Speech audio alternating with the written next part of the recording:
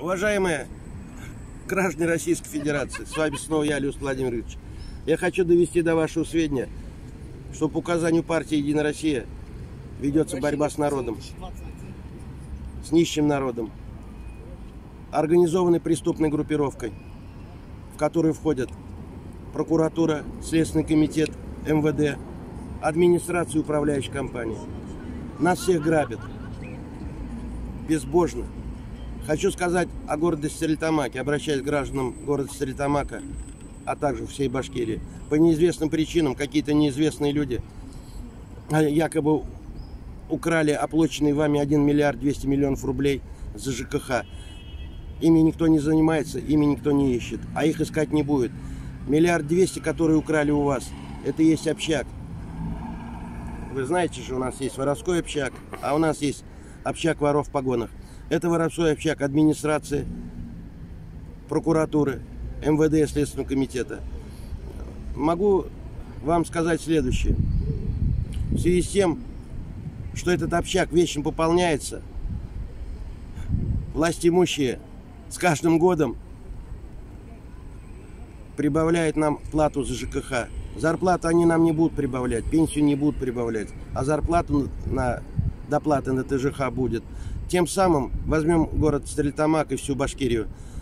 В связи с тем, что много денег в Башкирии было украдено водоканалами и тепло, э, тепловыми компаниями совместно с управляющей компанией под руководством администрации городов и районов, была срочно повышена э, тарифная ставка и так далее на тепло. Вот за то, что они у нас уже один раз украли, а им же как существовать надо, они нам повысили цену на на воду и на отопление, чтобы скрыть свои преступления.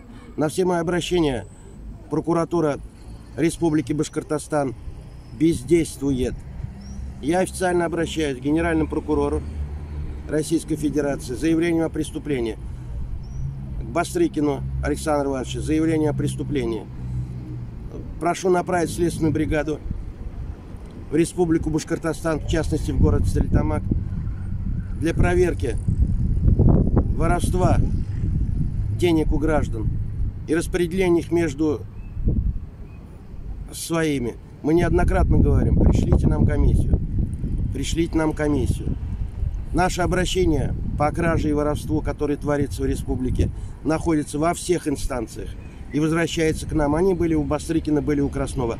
Но там тоже сидят люди, которых кормят нерадивые прокуроры с мест, они не доходят до руководителей. За банку меда, а может быть еще чего-то, какой-то суммы. Все наши обращения по факту коррупции, проводимой в Республике Башкортостан, возвращаются к тем коррупционерам, кто их расследовал. И нам пишут одни отписки. Если вы не слышите нас или не хотите слышать, так и скажите. Наша цель и задача – уничтожение – нищего народа, уничтожение. Вы нам не нужны. Мы всеми фибрами души хотим вас уничтожить. Вы живучи, как собаки, елки-палки. Мы ломаем ваши больницы. Мы не платим вам достойную пенсию. Мы не даем вам бесплатные лекарства, а вы живете и живете. Мы кормим вас черствым хлебом.